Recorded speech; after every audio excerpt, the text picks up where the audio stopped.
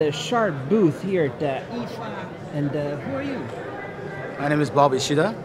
I'm uh, EVP and uh, EVP of Sharp Corporation, as well as the CEO of Sharp Europe. So uh, there was a, just a keynote right now, and you were talking about Sharp is back.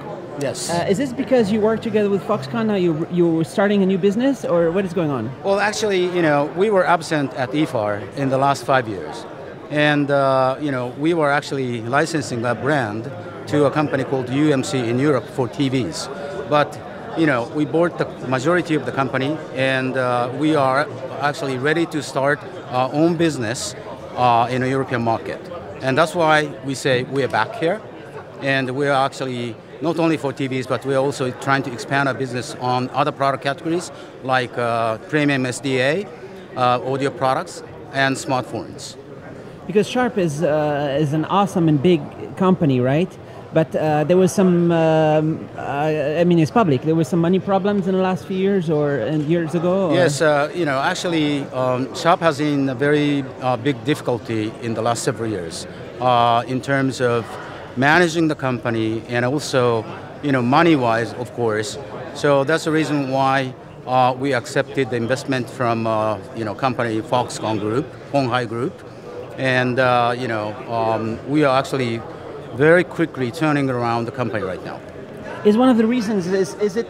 Can we walk over there? Sure. Is it because it's very difficult to to make this amazing technology? It's very expensive sometimes to invest in display technology like that. It's huge amount of billions and billions of uh, investment, right? Yeah. Uh, so let's, let's look over here. Um,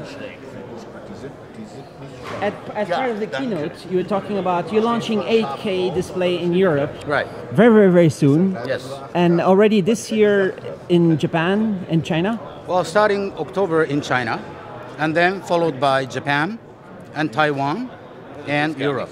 And Europe, actually, it's in March. And this is it. This is the 8K display, 70 inch. Yes. Is real. Yes. Uh, I've been doing 8K videos with Sharp for several years now, but this is going to be commercially available very, very soon Right. and uh, affordable. Yes. But affordable is still expensive, right? Uh, it's around, you know, 8,000 some or euro. So it's 8K for 8K dollars. Yeah. Right, uh, euros. Euro. Euros right now, and uh, it's it's mind blowing, right? If if people buy a Panasonic GH5, they can film 6K video. There's no there's no TV other than this one to see it, right? Right. And there's going to be more and more. And at the keynote, you were saying that Sharp also will do 8K cameras. Yes, we are thinking, actually, um, we're trying to be a company who can actually provide end-to-end solutions on this 8K ecosystem. So, um, because it, it's like really shocking to if, if I could see my family in 8K, I would faint. I think it's like it's something. It's like they're, something they're there. It's like they are there, right? It's like uh, and, and, and many people have uh, 32 megapixel cameras already, Yeah, yeah. and so for the for the um, pictures, that's already easy to get the 8K content, right? Correct. But now we need cameras, right? Correct.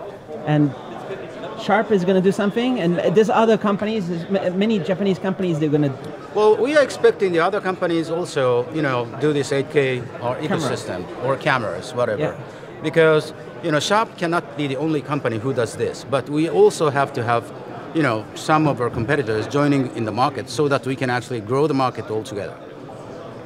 This is so beautiful, so awesome. I wish it was a little bit cheaper than 8K, but it's going to come, right? Yes. And uh, there's Tokyo 2020. Uh, by 2020, everybody will afford to buy 8K. Well, we are expecting more than, you know, 50% of the people who are buying larger than 60-inch TV will buy 8K At 2020, in 2020. it's very soon. It's like so soon, very very soon. right. And you you say also that you are launching. If you can go over here, uh, this is. I think I think this is the future of the smartphone. And you say you're going to launch smartphone in Europe. Are you going to launch RoboHon in Europe? We don't have a plan yet. And, uh, you know, but RoboHon has been in the Japanese market for quite a long time already. And, uh, How you know, popular is it? it's a popular product, but it's quite expensive. In Japan, also expensive still. Yes, It's, a- not the same price as It's iPhone? around it's around two hundred thousand, or it's even more expensive than iPhones. A little bit more, no? Not No, no, much. no. Uh, much more? Much more. Uh, 200,000, how many euros is this? Which is uh, let's see, or is, It's 1,000 euro, no? no one thousand six hundred. 1,600, so it's double the price of iPhone Right. Because it's so cool. Yes. But, uh, you know, people can buy on a subscription, you know, and there's all these, these ways people can get it. And people who buy And actually, the, the important thing is that we are also providing some, you know, application software is that in the Japanese market, uh, which is not available in Europe yet. So if we have, if you, if we are thinking about selling this kind of product in Europe, we also have to have our own software platform in a European market. Do you know how to trigger it? That's part of. Uh, it, it has all these amazing features. Uh, I think if you could just connect to Google Assistant, you know, or Alexa, Amazon, Yeah. you could sell to all the world, not only in Japan.